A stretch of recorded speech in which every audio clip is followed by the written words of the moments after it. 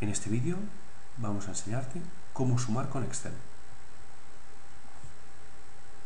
En primer lugar, debes seleccionar una celda, por ejemplo, B5. Seguidamente, escribe el símbolo igual y los valores que quieres sumar. En nuestro caso, sumaremos 50 más 50 y le damos a intro.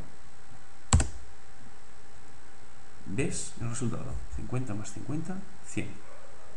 Recuerda, Excel también te permite sumar valores situados en distintas celdas. Vamos a darte un ejemplo.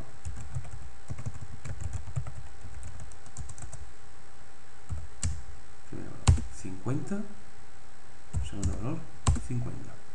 Cogemos una celda cualquiera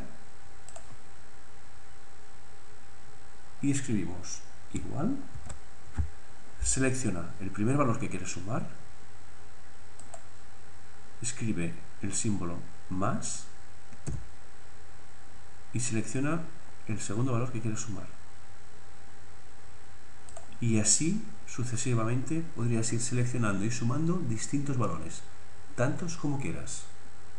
Finalmente le damos a intro y ves como Excel nos da el resultado inmediatamente.